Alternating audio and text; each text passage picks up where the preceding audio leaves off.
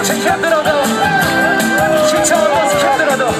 님이 오신 날 네, 네, 그날을 위해서 더 신나게 한번 놀아봅시다 박수 한번 주세요 소리 한번